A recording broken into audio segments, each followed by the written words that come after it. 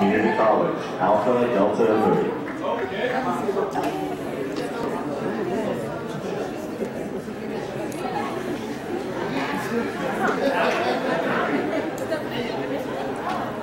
We want to tell you a story about two community college students who were having a bit of trouble in their transfer. So, here it goes.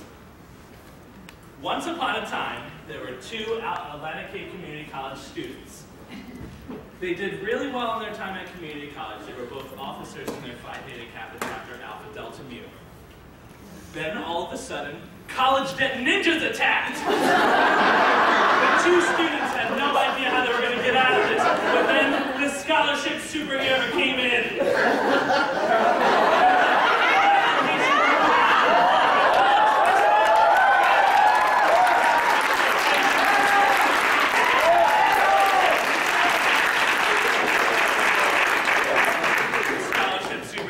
explained that she had seen all of their hard work during their community college and told them that there are over $90 million worth of scholarships available.